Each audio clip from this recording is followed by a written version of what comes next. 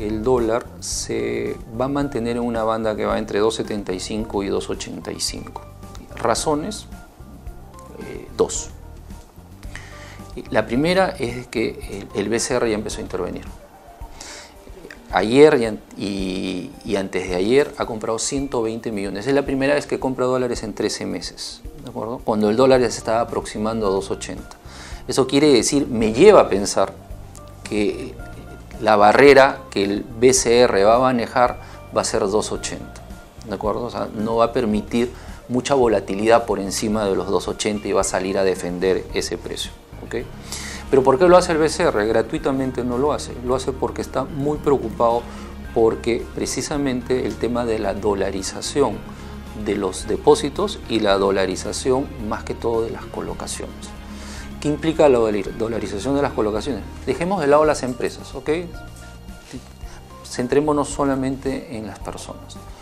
Si una persona gana en soles, la teoría financiera te dice endeudate en soles pero lamentablemente la gran mayoría se está endeudando en dólares. ¿okay? Entonces ahí lo que está sucediendo es un descalce ¿okay? en moneda, porque yo gano en soles y me endeudo en dólares.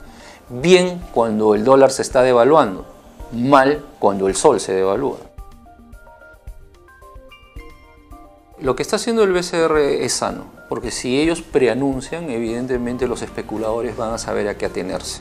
¿De acuerdo? Entonces, si yo te digo, oye, yo no voy a permitir que el dólar suba por encima de 2.80, ya todo el mundo está avisado y evidentemente podrían tener alguna acción que pueda sacar provecho para ellos.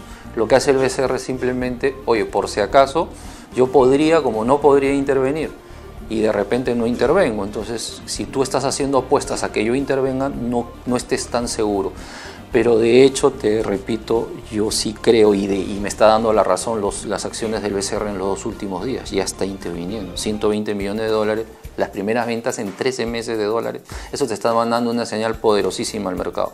¿Cuándo actuó? Cuando el, cuando el tipo de cambio se estaba aproximando a 2.80. Entonces yo creo que esa es la barrera, la barrera que el BCR no va a dejar que, el dólar suba mucho por encima de ese, de ese límite. ¿no? En principio, a la gente que está endeudada en dólares le pediría encarecidamente que cambie su deuda de dólares a soles. Si es que ganas en soles. Si es que ganas en dólares, quédate. En los últimos 10 años, el dólar ha pasado de 3.47, es decir, de casi 3.50 a 2.78. Entonces, la tendencia del tipo de cambio, la tendencia secular es a la baja obviamente en el corto plazo pueden haber ciertas volatilidades. ¿no?